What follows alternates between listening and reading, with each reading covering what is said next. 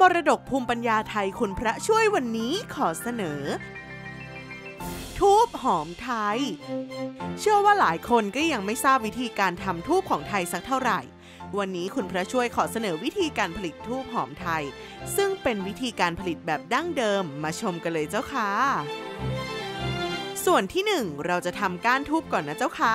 จะนำไม้ไผ่สีสุกมาเหลาทำเป็นก้านทูบ โดยจะต้องตีปื้นก่อนนะเจ้าคะ ตีปื้นก็คือการทำให้ไม้ไผ่เป็นปื้นคล้ายๆ ไม้บรรทัด แล้วซอยเป็นก้านเล็กๆ แล้วก็นำมาเหลาลบเหลี่ยมตามภาพเลยเจ้าค่ะ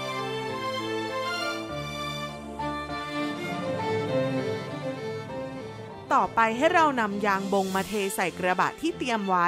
ยางบงก็คือกาวธรรมชาติที่มีความเหนียวนั่นเองเจ้าค่ะ จากนั้นวัดความยาวของขาทูบแล้วก็นำก้านทูบจุ่มกับน้ำเท่าที่เราวัดได้ เพื่อให้ทูบทุกดอกทุกก้านเสมอกันเจ้าค่ะ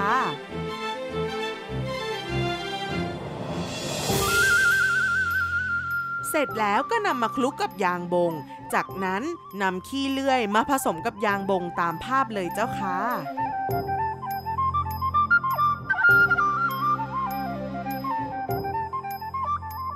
แล้วเราก็นำการทูบที่คลุกยางบงมาจุ่มน้ำอีกครั้ง แล้วคลุกขี้เลื่อยอีกครั้งหนึ่งเจ้าค่ะ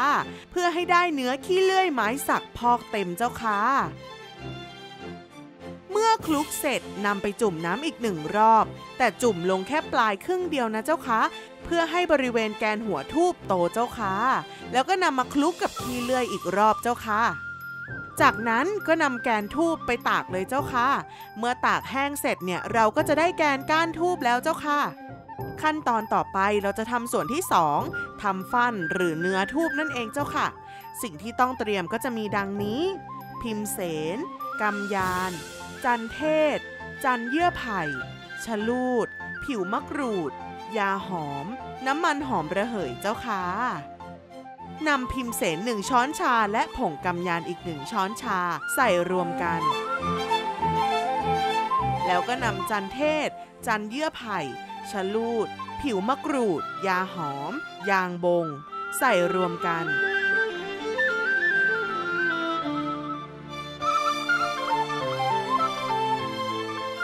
จากนั้นก็ผสมน้ำแล้วนวดให้เข้ากันเลยเจ้าค่ะ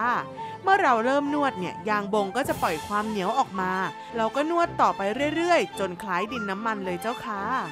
หลังจากนั้นใส่น้ำมันหอมระเหยแล้วนวดต่อไปเรื่อยๆ เจ้าค่ะขั้นตอนต่อไปทาน้ำมันหอมระเหยลงบนแผ่นหิน เพื่อทำการฟันนั่นเองเจ้าค่ะ นำก้านทูบมาจุ่มน้ำแล้วฟันกับเครื่องหอมที่เตรียมไว้ ปั้นออกมาเป็นชิ้นเล็กๆ แล้วนวดให้เป็นเส้นยาวๆ แล้วนำก้านทูบวางลง แล้วกลิ้งทูบให้โคนเล็กแต่ปลายใหญ่นะเจ้าคะ